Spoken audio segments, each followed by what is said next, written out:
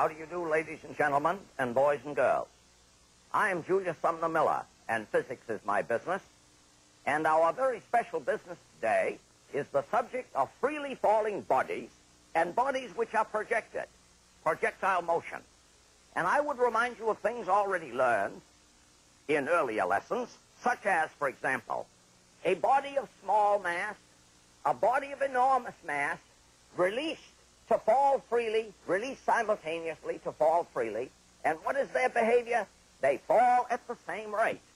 And you remember it is Newton's second law that tells us that, namely that F equals ma, or for freely falling bodies, W equals mg.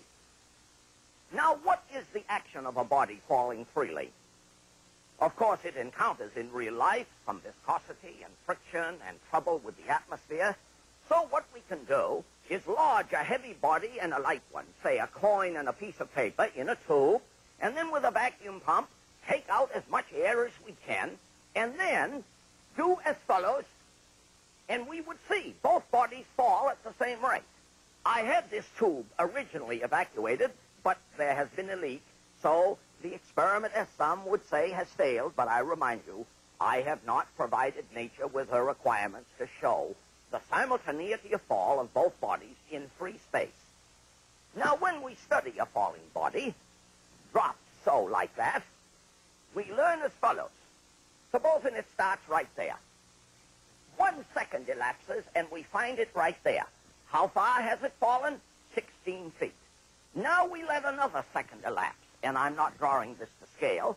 And how far would it fall in the second second? During the second second it would fall 48 feet.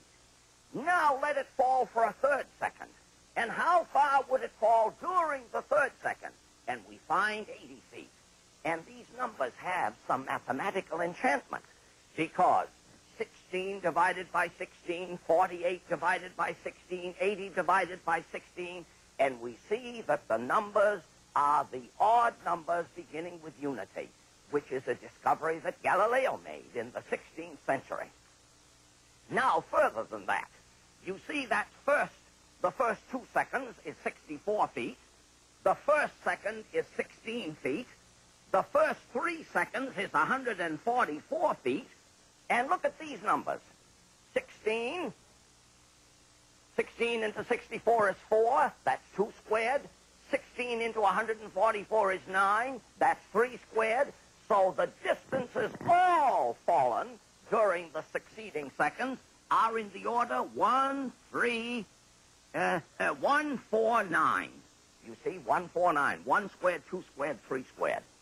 Now, when we study a freely falling body, it is too far to measure in real life. So what do we do?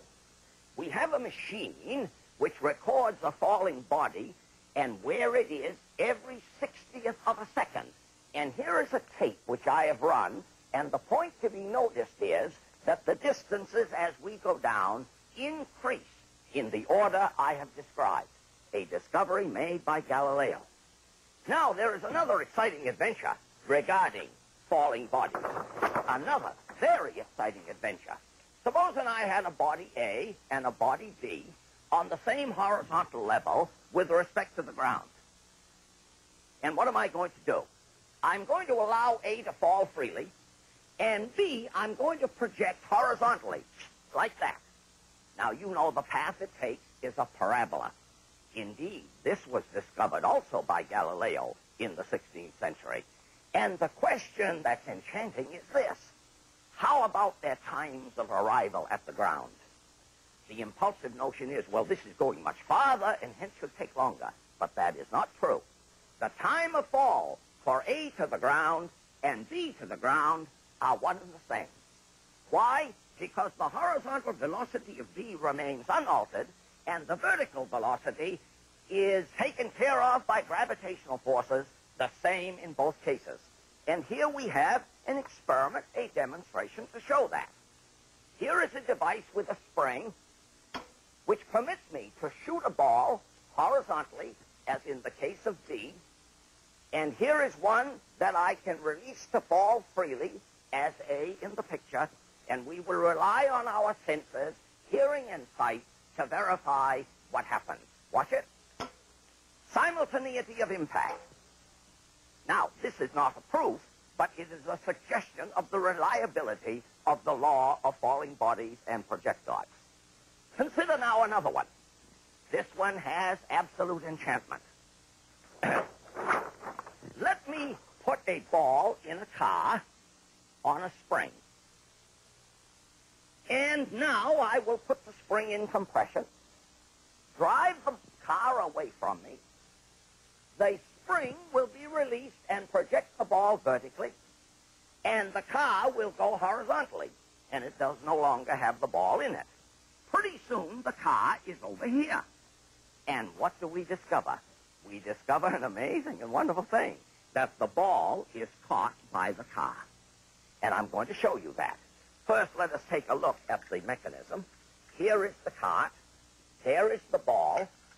And I have compressed the spring, and it is held by a pin below. So when I pull a string, which releases the spring, the ball will be shot up. Let's get over to this table and take a look at it. I'll put something down out of the way here. Let us take a look at it. Watch now. Watch. I am going to drive the car away. So, pull the pin. Up goes the ball. The car keeps going. And zowie. The ball is caught by the car. Watch it now. There it is. Now, I did not go so very high, and perhaps I should do that again to show you what a wonderful thing it is to witness. Watch it. Watch it. Oh, this is... There it is. And I say, this is enchanting to witness.